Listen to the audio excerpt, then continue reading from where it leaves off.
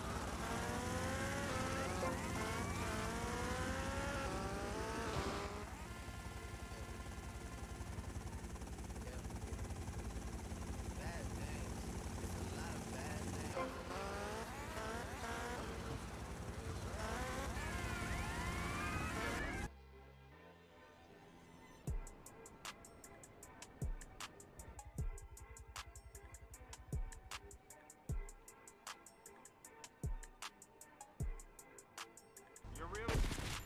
Rotterdam 21 East downtown. This is Rotterdam 21 East downtown. This is Rotterdam 19 East downtown. Take him in, then beat him up.